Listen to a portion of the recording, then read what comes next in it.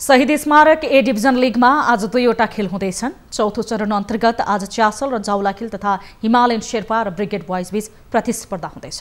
दुवै खेल ANFA complex साधु बाटोमा हुनेछ। पहिलो खेलमा चासल र जाउलाखेल बिहान साढे एघार बजी भिड्दैछन्। दोस्रो खेलमा हिमालयन शेर्पा र ब्रिगेड बोइज दिउँसो तिन बजी भिड्नेछन्। लिगमा तीन खेलबाट च्यासलले एक जित एक बराबर र एक हार बिहोरेको छ भने चार अङ्क जोडेको छ। लिगमा अपराजित रहेको जाउला खेलको पाँच अङ्क रहेको छ। यस्तै शेर्पा क्लब दुई बराबर र एक हार सहित तीन अङ्क जोडेको छ। ब्रिगेड एक जित र दुई हार सहित तीन अङ्क जोडेर तालिकाको दसौँ स्थानमा रहेको छ।